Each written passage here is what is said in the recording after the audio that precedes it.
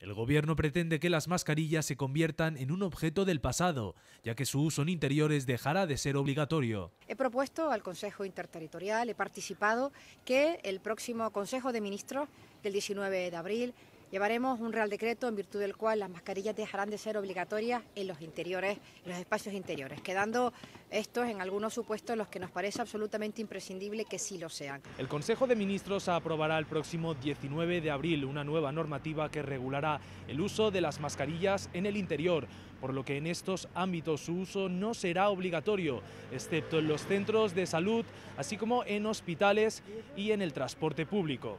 En España eh, hemos ido dando las respuestas estratégicas que en cada momento la situación de la pandemia ha requerido.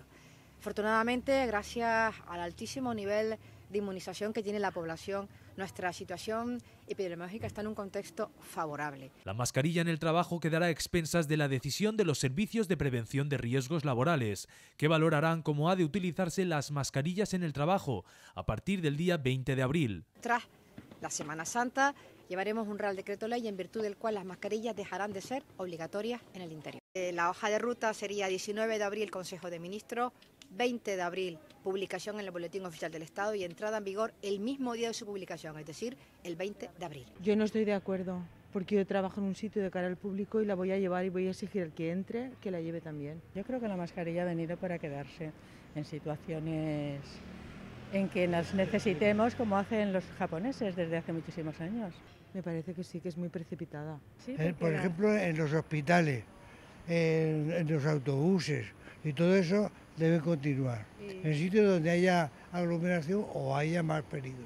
Yo la voy a seguir llevando y incluso en vez de ponerme la quirúrgica me voy a poner una FP2. Y voy a exigir que todo el mundo que entre, que yo la atienda, que lleve mascarilla puesta.